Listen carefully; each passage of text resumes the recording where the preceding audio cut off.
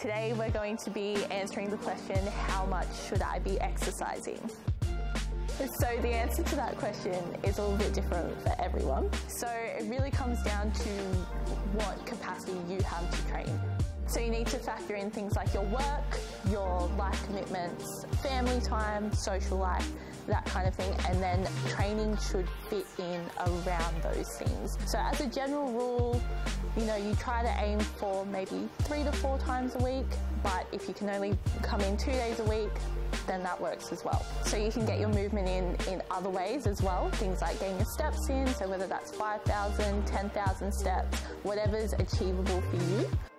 It's important to not go in with that all or nothing approach as well. So some people like to try and commit to five days a week straight away. It's important to kind of ease yourself in, start small and build a foundation and then build from there. If you have any questions or need some help around training and fitting it into your schedule, feel free to reach out to Lift 3.